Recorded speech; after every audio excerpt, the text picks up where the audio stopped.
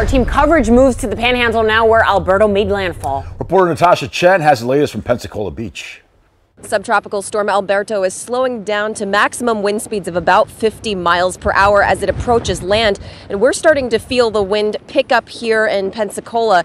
But to our east in Panama City, they've been getting even heavier rain and wind.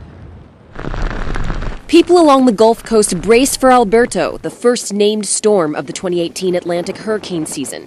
Thousands have been ordered to evacuate on the panhandle. Florida's governor is warning Memorial Day tourists and residents to stay off the roads as major flooding is expected. We have uh, our state emergency management team is well prepared. We have been having uh, daily calls, activated uh, our team over a day ago. We have Fish and Wildlife has high water vehicles in the panhandle.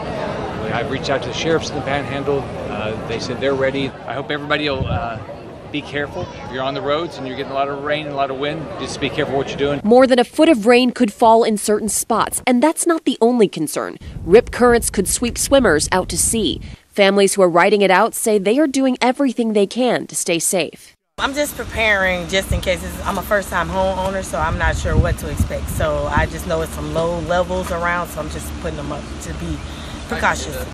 There are red flag warnings in effect at various beaches. Here, we've seen uh, sheriff's deputies and lifeguards drive by. They're trying to make sure everyone is safe. Uh, swimmers are really not supposed to be going in the water. They say surfers can still do that. You can see there are some Memorial Day guests still deciding to stay out here despite the fact that this storm is making landfall quite soon. Live in Pensacola, Florida, Natasha Chen, back to you. All right, thank you, Natasha. And right now we're going to take some live pictures of Alberto from Destin, Florida. Wow, take a look at this. You can barely see anything. The, uh, the bands of Alberto definitely impacting Destin there. You can see it from our camera, from the rain, the, the winds, the winds, that driving clouds. force in that subtropical storm. We'll have more on this when Luke Forrest, Luke Doris joins us in just a bit. Right now, let's get to a